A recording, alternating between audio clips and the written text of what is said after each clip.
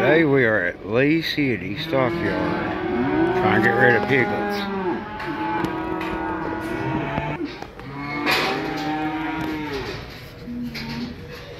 Pretty big operation. I ain't been here in 20 some years. And I think all this is, well, all this wasn't here whenever I was here.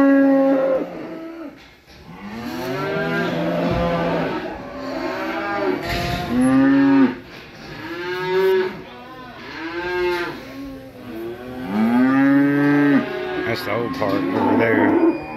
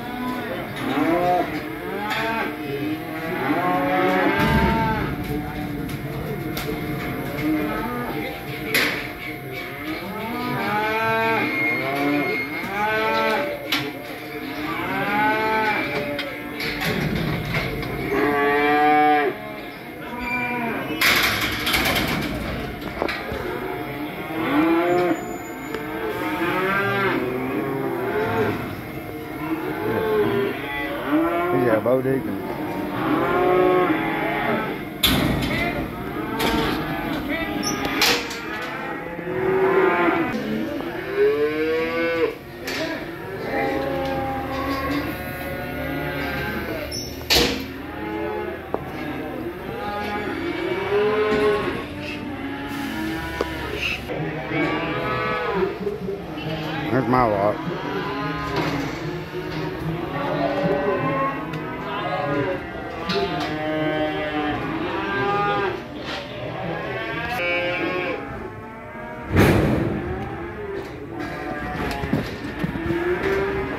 Back there, they, they have to test all the cows, the guy said, uh, for pregnancy, see how far along they are.